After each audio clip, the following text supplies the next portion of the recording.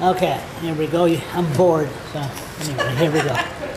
How you doing? You're bored and you're uh, you're on a sugar high, I think. A sugar high. I'll try not to do a lot of talking. I'll let you do the talking. Okay, you are, Danny Legere, and you are, president of CUPE New Brunswick. and you used to work where you work.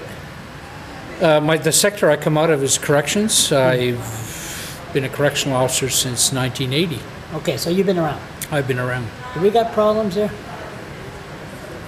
Now we got part-time, Well, ca- not casual yeah, workers. We yeah. have people dying behind bars. We have uh, no provincial jail here in Fredericton. I don't know where to start, so you tell me. You're citing all kinds of, of problems, uh, Charles. I'll, you know, th- th- you're right. There's no provincial jail in Fredericton.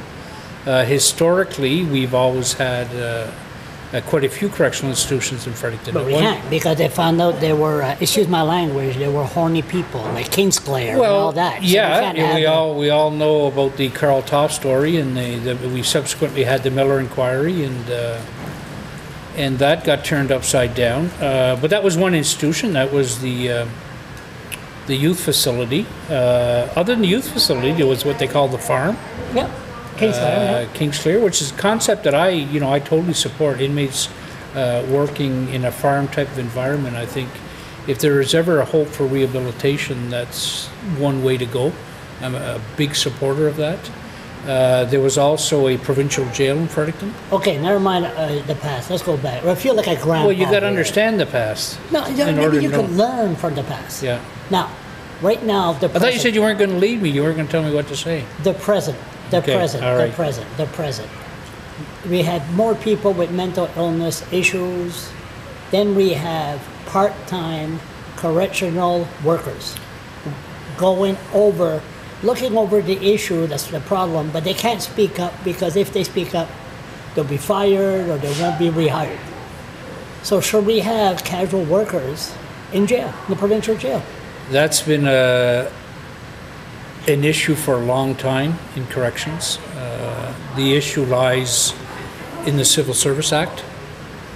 Uh, correctional officers are covered under Part 1, uh, which means they're covered by two parts, of, two pieces of legislation, the Public Service Labor Relations Act and the Civil Service Act.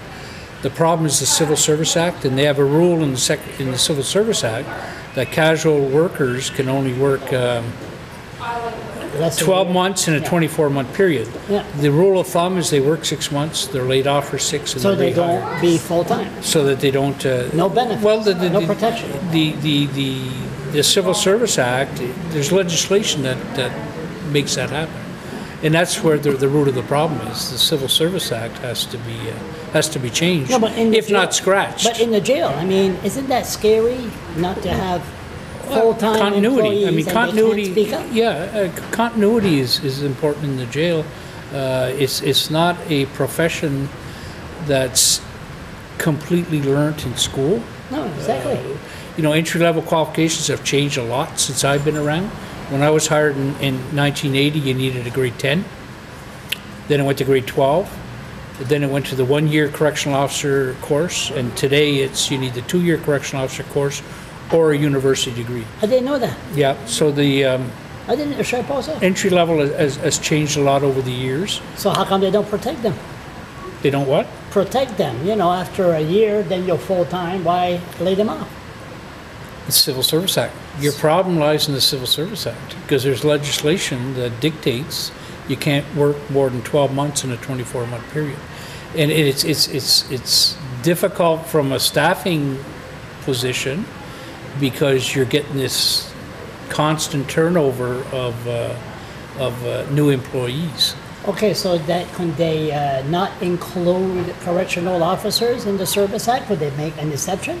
Since it's so, we got more people But in jail now. yeah, there's, there's four departments that fall under Part One, the Service Act. It's, uh, it's um, CUPE Local 1418, which represents a broad range of classification, including probation officers, social workers, many other classifications. Court stenographers fall under the Civil Service Act. Uh, Local 1190, which is the highway workers, they fall under the Civil Service Act, as does uh, Local So they should make an exception, no? Well, I, the same problem exists. It's, it's, it's more sore thumbed, I think, in corrections than it is those other. But I, I don't think you should make an exception for just 1251. I think it should be changed for all departments. Yeah, but we're dealing with people with mental illness behind bars. And really, safety is a major problem. And you have to get to know the inmates. You get to know your job, how to deal with people Absolutely. with mental illness. Yep. So Yep. how do you? How come uh, there's not an exception to the rule by saying that hey, we need full-time workers here? We don't need an exception to the rule. We need the rule changed.